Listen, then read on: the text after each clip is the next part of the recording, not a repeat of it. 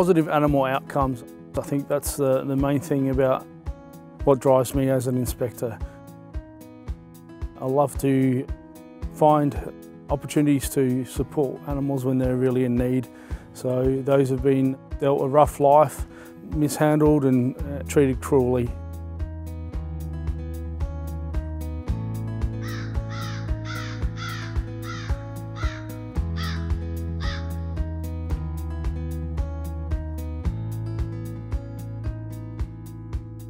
I cover an area that is about from Port Pirie to the Northern Territory border out to the Western Australian border, but it is uh, quite large.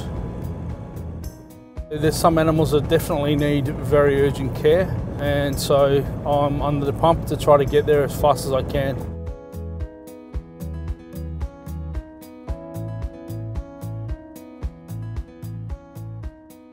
We're just off to uh, have a look at uh, a pony. Uh, we had a report coming in of a pony that was in bad condition.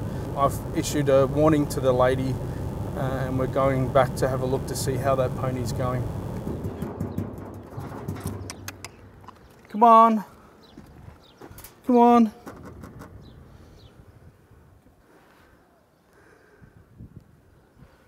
Hello. You're looking good. It's looking uh, quite good actually. It uh, looks like it's put on a bit of body condition. It also seems like the feet have been looked after by a farrier, so it looks like the owner has done the right thing here and definitely um, looked, looked after the pony since I've last been here. When we see people, the, the, the number one thing that we want to do is um, help them uh, comply. So we want to tell them, um, you know, give them advice about what they might need and what the animal needs and uh, I would say the majority of people do the right thing and they do listen to us. Uh, but there's always a few that um, you know will, will ignore any welfare advice. You know they're the people that we spend most of our time with. Uh, we're just uh, off to a job where we've received a report about two quite skinny dogs in the backyard. Ribs visible uh, and spine visible. Uh, this is the house here.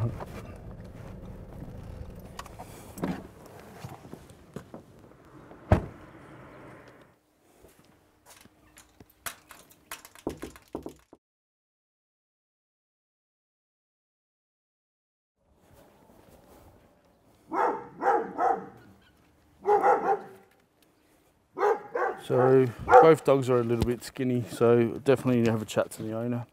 But they're not answering, so um, I'm going to try to give them a call.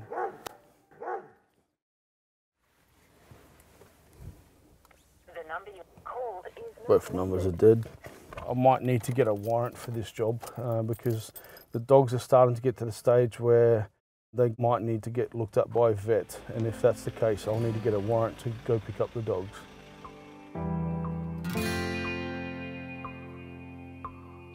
Yeah, I get uh, multiple jobs a day where I need to check people's houses. It's uh, a little bit distressing actually to see how some people just don't pay attention to their animal and, and don't give it a, a second thought when they go away. We were just worried that because the report was that no one had been out of the house for a few days, so they were just worried that the dogs might not be getting fed. Keep giving them plenty of food because they're just on a bit of the skinny side. That's all. Yeah.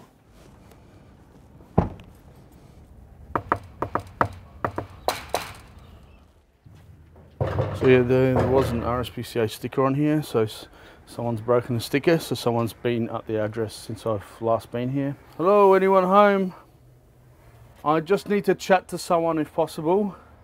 So the um, the actual complaint is is that someone's away and that the dog's home alone. But at this stage, I'm pretty convinced that someone's going in, inside the house, so the dog should be okay.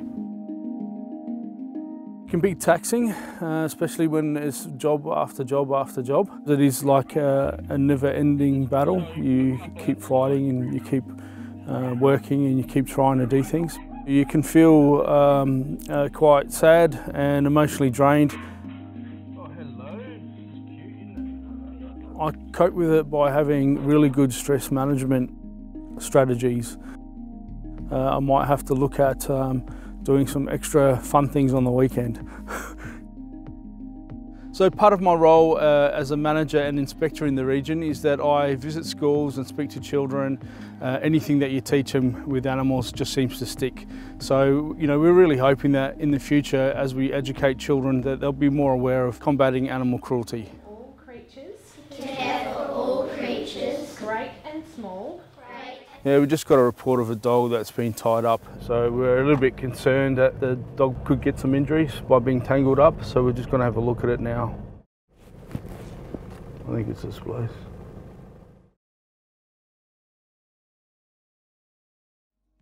You can't use a chain like that around the dog because it will really hurt them. It hurts them. It's not good for them. It's Not that tight. So yeah, that's that's just really loose. You can put your whole hand in it.